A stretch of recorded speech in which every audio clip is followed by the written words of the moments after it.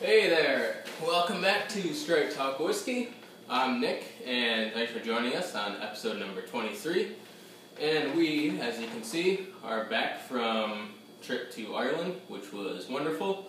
And you can see, you're probably wondering why I'm surrounded in Tullamore. You're probably thinking to yourself, you know, if you've watched other videos, you're probably like, why the hell are we back to Tullamore? We just did a maybe month and a half little mini series on Tullamore with all the ranges that you see here. All these reviews can be found um, going back in time, whenever that was.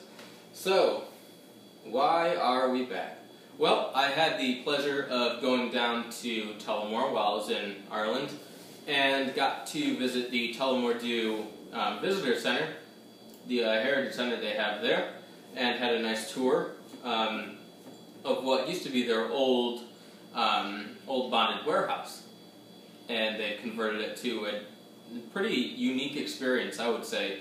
Um, I think the guides and you know the visuals, hands-on kind of things they had during the tour were you know pretty helpful and informative, uh, certainly. So why? Well, while I was at Tullamore, I managed to pick up a couple goodies that weren't over here in the good old United States, and I didn't even know existed at all. So we're going to shove these to the side without, you know, throwing tons of whiskey out of here. Glass in the viewing. And what are we reviewing today? Well, we have the Tullamore Dew Old Bonded Warehouse Special Release. Uh, why haven't you seen it before? Because you can't get it here and you can't get it anywhere else other than the visitor center. That's the only place where they have it. Um, maybe some random store somewhere has bottles of it, I don't know. But um, as they say, it's only in this visitor center where you can purchase this. And during the um, tastings that we had at the end of the uh, the tour there, it got to sample a bit, and I thought, hey, this is you know definitely worthy. Um, not alone just because you can't get it, over here, but because it actually tasted pretty good. So I said, why not? We'll make this review uh, 23, and so here we are. So this is, is pretty interesting. Um, you can see obviously it's smaller than the other boxes because it is bottled um, slightly smaller bottle, as you can see there, 700 milliliters. Um, but not to worry because they've made up for it with a little more information, a little kick up.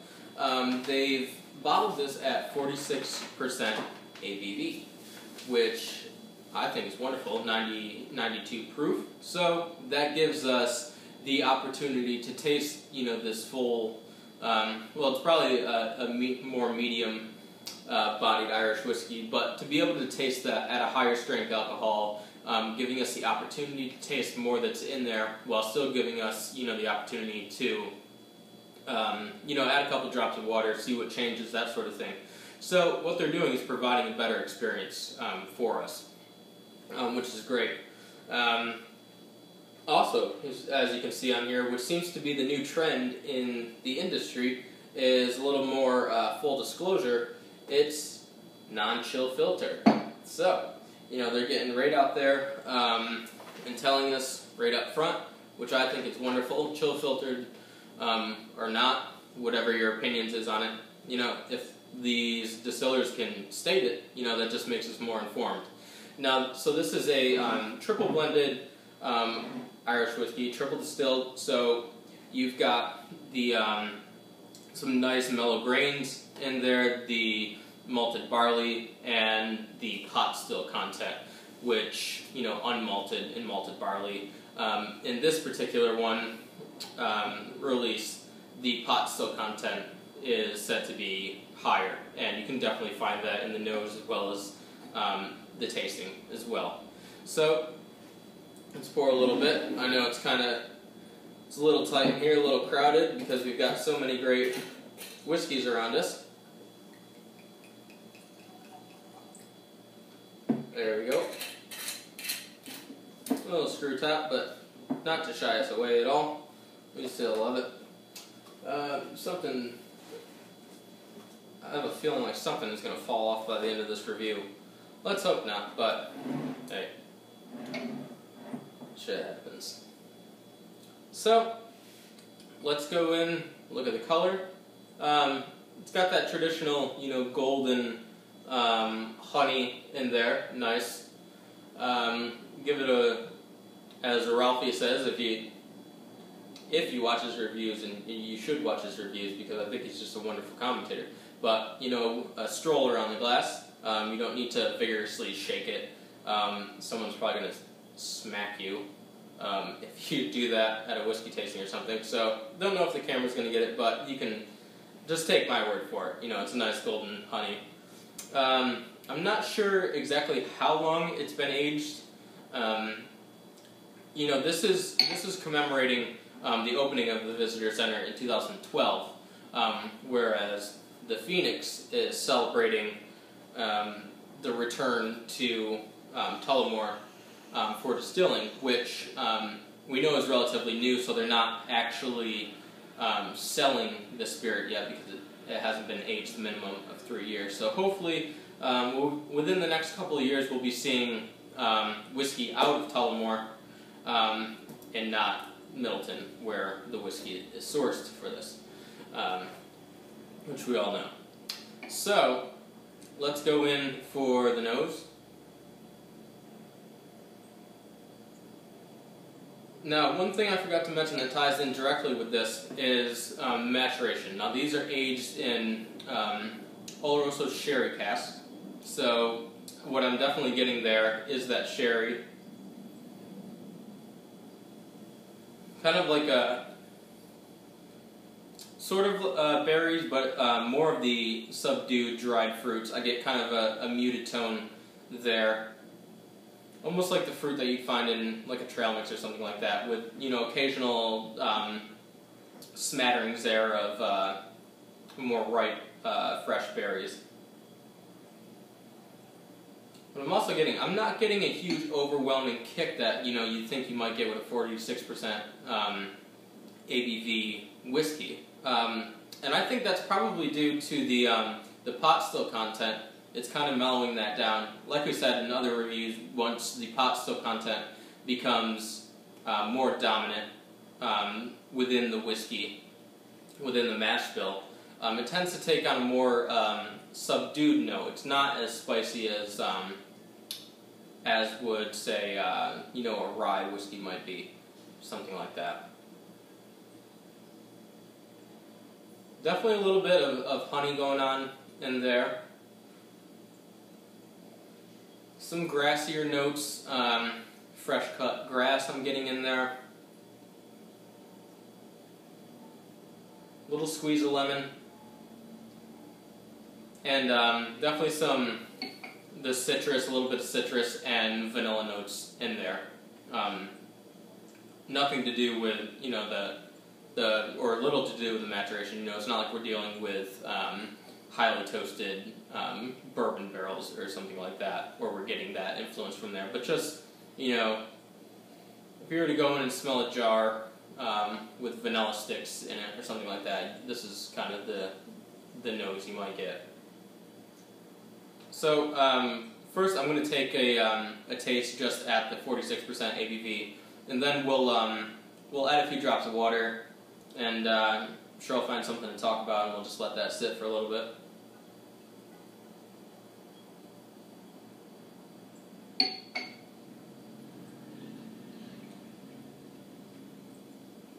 Now, I have to say, and maybe it was because, you know, I was kind of getting bombarded with, you know, different things we were talking about at, um, on the tour, um, doing whiskey tasting, talking with other people, but I always say it's nice to have uh, kind of a more quiet space where you can really get into your whiskey and really think about the flavors and stuff like that. Because what I'm getting now is kind of a different experience than I remember.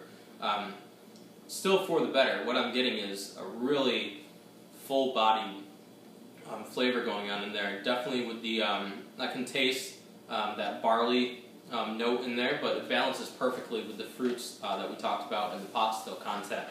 Um, if you're a fan of Tullamore, which I know a lot of people out there are, and if you're a fan of Irish whiskey in general, I think this is if you can get your hands on it, I mean, I know it's hard to get. It's not like saying just go out to the store and buy it because you can't do that. But um, if you got any connections or can get over um, to the visitor center and Tullamore, this is really a nice bottle um, to get. Those the sherry, the sherry uh, influence in this is just phenomenal.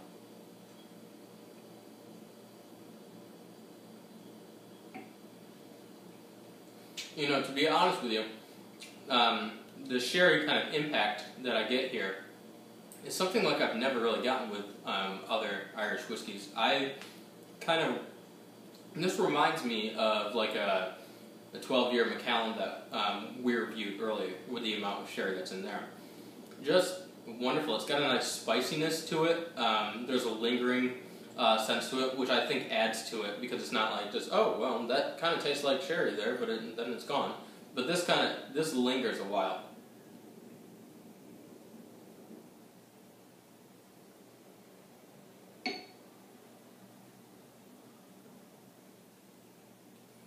It's, it's wonderful. It's so flavorful. Um, and I'm going to add a little water here we talk about it. Um, handy whiskey dropper. Now, as I, have mentioned before, when it comes to water, if you're going to um, you know, dilute down a little bit, take a couple things into factor. Um, obviously, I've taken a couple sips of this, so I don't need as much. Um, you know, kind of gauge it on your own. You don't need something like this. A spoon will work fine. Um, so I'm just going to add oh, maybe two drops there. We'll add one more in just for, uh, I don't know, for whatever. So there we go. But when you're um, adding water to your whiskey, what you normally want to do is get um, a little pitcher like this or something like that. Uh, actually, the glassware doesn't really matter. Um, get some filtered water, some bottled water works fine. Um, it doesn't need to be freezing cold. Room temperature is fine. You don't also don't want boiling water. Don't really need that. Um, I, I wouldn't even want to fathom what that would do to it. Um, but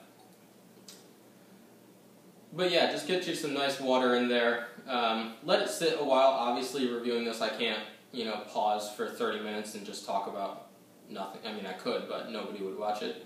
Um, so just give it a, a, little stroll, give it a little time. Time is always uh, your friend when it comes to whiskey.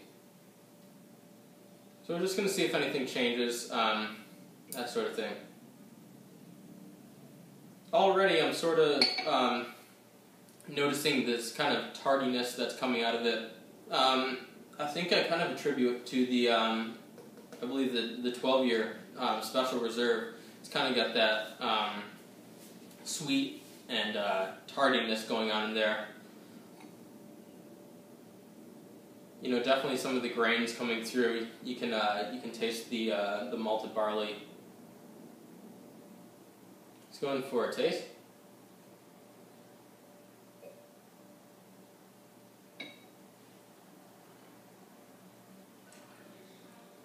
Now, definitely the pot still content is still, for me at least, predominant.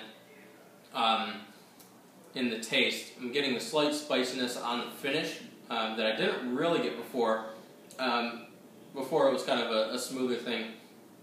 Um, and I think what, what is going on there is uh, taking out the water sort of numbed down the, um, the sherry content um, that I was getting in the taste and kind of bumping up the still content and some of the spices that are in there.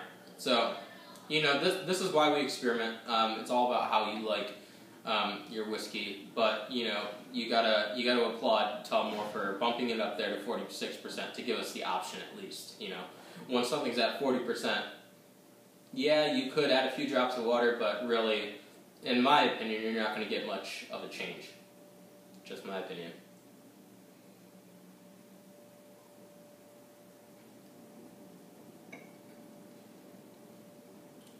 No, it's still good. I'm not saying that there's um, like a total loss of sherry. It's definitely there, but it's more in the background, kind of just like supporting it a little bit. Um, definitely the grains, um, like I said, are there. The finish, obviously not lasting as long as it did before at the 46% ABV. It's not like the Tullamore at um, the Phoenix at 55%, where you get kind of this like, yeah, you get you get the Phoenix, you get the fire there, um, kind of rules around um, bashing around on your palate for a while, um, and then kind of sizzles off with a little, you know, after flare going on. This is, you know, it's nice and smooth. Um, I, I think it's wonderful. I think the, the Oloroso Sherry was a great, great choice um, to age it in. Um, and what I think that does, I think it helps lift up the balance and this uh, medium body that they've got going on here with the flavor, um, rather than you know bourbon might do, because you might get more of the smokier um, notes in there, the woodier uh, content going on there. So I think they've achieved something pretty uh, pretty good there.